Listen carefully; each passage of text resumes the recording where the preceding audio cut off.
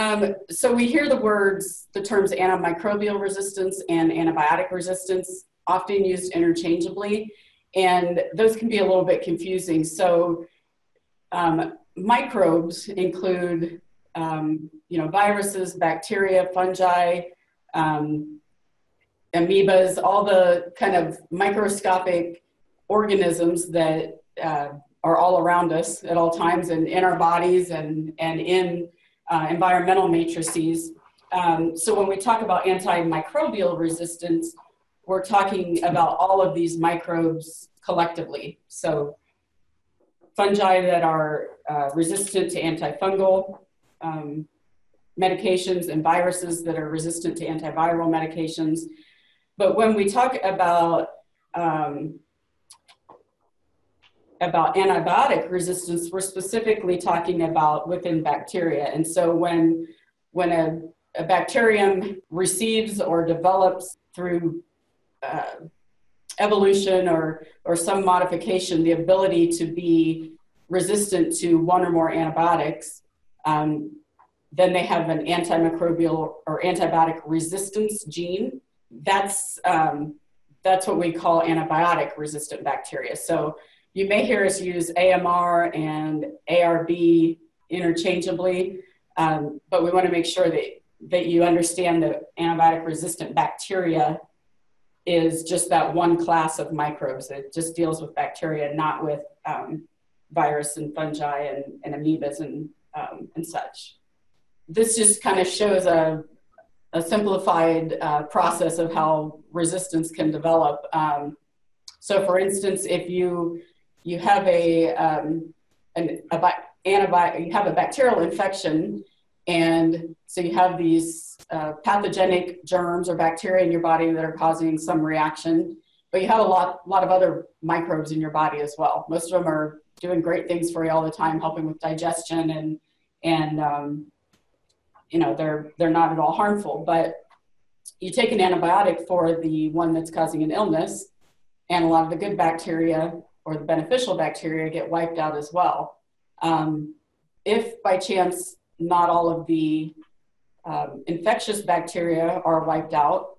Now they've been exposed to that drug, and the next time they see it, they, they're going to develop some um, methods for not letting it affect them quite the same. And we'll, we'll get into some of those more, um, more the microbiology and of that and uh, biochemistry of that later in the semester. But now those bacteria that are resistant to that particular medication are multiplying and every time they multiply the new bacteria have that same resistance they can also pass resistance um, from one microbe to another so one important point that through our outreach that we're trying to make with uh, consumers is that antibiotics are very powerful medicines they've They've saved a lot of lives since they were first um, developed back in the early 1900s, but they don't treat non-bacterial infections. So they don't treat parasites or viruses or fungi or amoeba infections.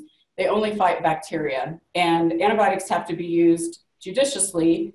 One of the things that we often hear is that overuse of antibiotics is the issue. So we hear overuse of antibiotics in livestock production, overuse, overprescription of antibiotics in um, human health. And one thing we need to realize is that any use of antibiotics um, can contribute to development of antibiotic resistance. And in fact, in environments where there are no antibiotics being used, where animals or people haven't had an influence on the environment, we still see antimicrobial or antibacterial resistance um, in those environments. So um, when they're competing for resources in that um, environmental uh, setting, and if one bacteria is introduced to a chemical that's intended to kill it, then that bacteria will try to evolve and you know survival of the fittest like like any species will try to evolve and find a way to survive that, um, that attack on it. And when it does that, it's developing resistance to that chemical. So the same way that we get bacteria in soil and the environment, we also see antibiotic, antibiotic resistant bacteria developing those soils as well. Um, so this is just some statistics on uh, antibiotic resistance. It's, it's um, definitely not picky about um, the people that are affected, anyone, any age, um, anywhere in the world. There's um, issues worldwide. In the US, at least, um, almost 3 million people get an antibiotic resistant infection every year. And of those, there's about 35,000 that end up with the person, the patient dying.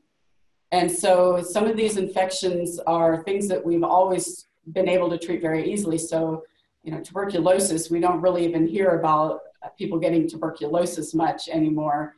Um, gonorrhea is a sexually transmitted disease that has become resistant to multiple antibiotics. And so, in particularly in, uh, I know we have, they've talked about that we have a, a pocket or a, a, a hot area of resistance in Nebraska, and it's usually associated with you know a, a younger generation college setting.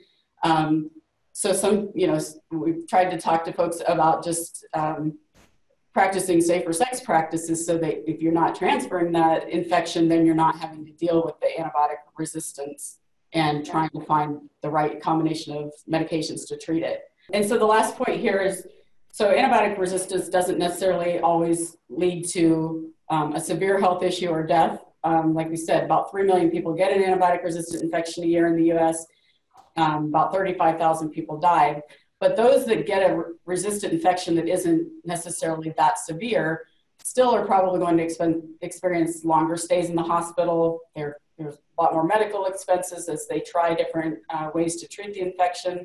And so there's, there's an economic component to it as well as far as um, the cost of treating um, the health issues associated with antibiotic resistance. The idea is that when we talk about antibiotic resistance or antimicrobial resistance, excuse me, it's not just um, you know in the healthcare. It's not just in ag. It's not just in the environment. It's really all of those things together.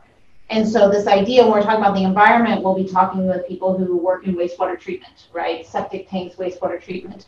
Um, also, you know, getting into streams, but also just natural occurrence. I mean, there is antibiotic resistance just naturally that happens. Um, that has nothing to do with, you know, human in, in, impact, but we've definitely accelerated that um, over the last um, several decades. Um, again, in agricultural people who will talk about therapeutic use versus growth promotion, once it is in, just like us, we, you know, when we defecate, it goes to the wastewater treatment plant and we hope to treat that the same thing with manure. And so what kind of manure treatment? Because again, not all the antibiotics are metabolized. And um, even those that are metabolized, if we have resistance in our guts, those bacteria come out with our um, excrements. Um, and then again, with the healthcare, as we talked about. So it's the idea is all of these together. And then with this caveat of, of new drug discovery. So something that is that I didn't know until, you know, I got into this work more recently is that, you know, we haven't had a new antibiotic on the market that's been approved by the FDA something like like the 70s or 80s. It's early, late 70s, early 80s. You're still using these drugs that we have been using for the last 30 years, and we haven't been putting new more drugs into the market. So we're still using what what works. And so this caveat that we also need to, you know, up our science and have this as a priority. Idea is that um, we have all of these different pillars. We have healthcare, we have ag, and the idea is are we speaking the same language? And, and during this class is kind of expose you to the breadth. So we will be pe- have people coming in from the healthcare industry, from the ag industry, from food safety, from um, from wastewater treatment, and try to expose you to the breadth of, of knowledge and really understand that we're all talking about the same thing, but we're often using different language and we have different focuses, but it's all this idea of antibiotic resistance. And so the idea of this class is to give you that breadth of knowledge um, so that you can go forward and maybe be in depth in one part of it